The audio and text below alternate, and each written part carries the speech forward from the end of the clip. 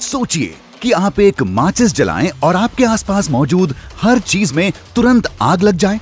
चाहे आप किसी हरे भरे जंगल में ही क्यों ना हो। और जब ये हो रहा हो, सोचिए कि तब जायंट इंसेक्ट्स आपका पीछा कर रहे हों। ये बस कुछ ऐसी चीज़ें हैं जो तब होंगी जब आप एक ऐसी दुनिया में रह रहे हो जिसका एटमोस्फियर प्योर ऑक्सीजन का बना हो, यानी वातावरण में शुद्ध ऑक्सीजन के अलावा कुछ ना हो। अर्थ पर और क्या क्या चीज़ें होंगी? क्या आप ज़िंदा बच पाएँगे? आप देख रहे हैं वॉट इफ़ हिंदी और यह है क्या हो अगर अर्थ का एटमॉस्फेयर प्योर ऑक्सीजन से बना हो? ऑक्सीजन हमारे एटमॉस्फेयर का 20 परसेंट है और बाकी का हिस्सा ज़्यादातर नाइट्रोजन है। यह कोई सीक्रेट नहीं है कि आपको ऑक्सीजन की ज़रूरत है। इसकी वजह से हम सांस ले पाते हैं और हर तरह का जीवन इसकी वजह से ही है। अगर एटमॉस्फेयर में ऑक्सीजन ना हो तो हर चीज़ मर जाएगी। आप भी। पर क्या होगा अगर एटमॉस्फेयर में ऑक्सीजन के अलावा कुछ ना हो? शुरुआत में यह सुनने में एक अच्छी बात लग सकती है। ऑक्सीजन की वजह से हम जीते हैं और इससे ही हमारी बॉडीज को एनर्जी मिलती है। तो ज़्यादा ऑक्सीजन होना तो अच्छी बात हुई ना?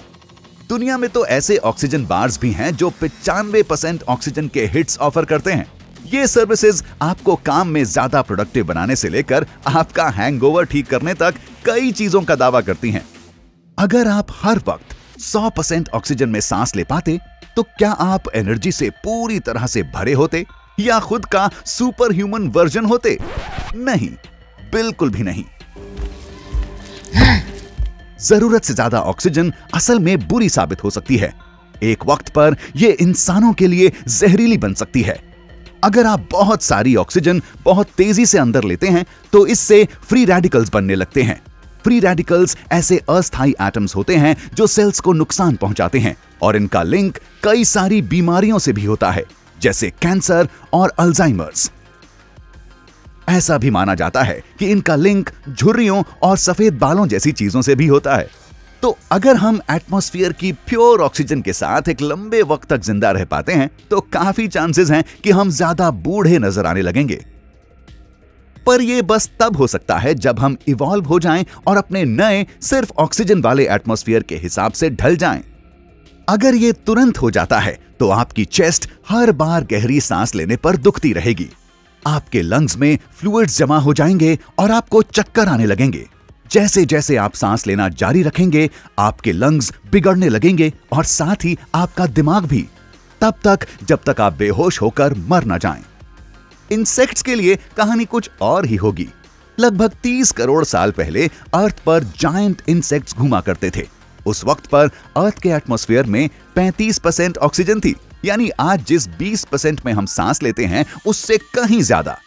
रिसर्चर्स को शक है कि उन जायंट इंसेक्ट्स के पीछे ऑक्सीजन का ही हाथ था। इसका कनेक्शन उनके ट्रैकियल सिस्टम से था। मतलब ट्यूब्स का वो नेटवर्क जिससे ऑक्सीजन इंसेक्ट्स के सेल्स तक जाती है और कार्बन डाइऑक्साइड बाहर निकलती है। अगर एटमॉस्फेयर में ज़्यादा ऑक्सीजन होती तो इंसेक्ट्स के ट्रैकिया फैल जाते और उनकी बॉडीज और बड़ी होती जाती। लेकिन उन भयानक आग की घटनाओं का क्या जिनके बारे में हमने आपको पहले बताया? अगर आप इतने लंबे वक्त तक ज़िंदा रह पाते हैं कि माचिस जला सकें तो उसके बाद आप ज़्यादा वक्त के लिए नहीं बचेंगे। जैसे ही आप किसी चीज़ को जलाएँगे, कोई भी चीज़ तुरंत ही आग पकड़ लेगी और बड़ा धमाका हो जाएगा। ऑक्सीजन आग के फैलने और बढ़ने के पीछे एक बड़ी वजह होती है। अगर हमारे एटमोस्फियर में सिर्फ़ ऑक्सीजन हो तो जो भी आग हम जलाएँगे, वो बड़ी होती जाएगी। जो कैंप में जलाई गई छोटी सी आग रही होगी, वो अब एक भयानक धमाके में बदल जाएगी। तो अगर आप सिर्फ़ ऑक्सीजन में सांस ले सकें तो जायंट इंसेक्ट्स और अर्थ का हर तरफ़ से जलना जीवन को काफ़ी मुश्किल, बल्कि नामुमकिन बना देगा। बचने का इकलौता तरीका है कि हम इसके हिसाब से ढल जाएँ और ध्यान दें कि कभी आग लगे ही ना। और अगर आग हो ही ना तो आपका जीवन कैसा होगा? जानने के लिए देखते रहें। What if Hindi?